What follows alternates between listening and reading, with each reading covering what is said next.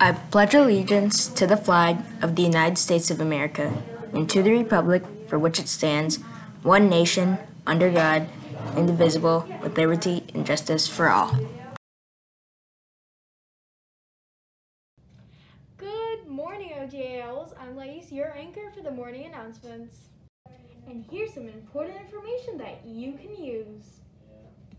The open house this year will be virtual.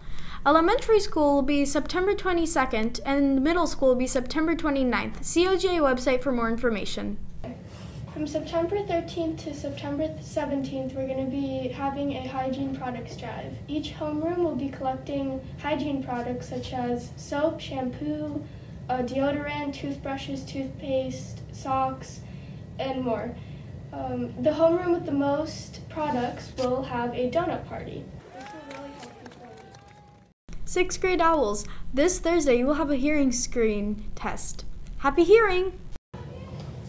I'm really hungry. I wonder what's for lunch.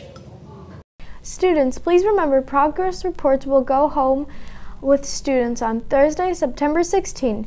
They will also include the beginning of the year I iReady scores with the progress report. Now into Ada with the weather. Thanks, Lais. Here's the course for Hurricane Nicholas. It has already affected Texas and will most likely hit New Orleans.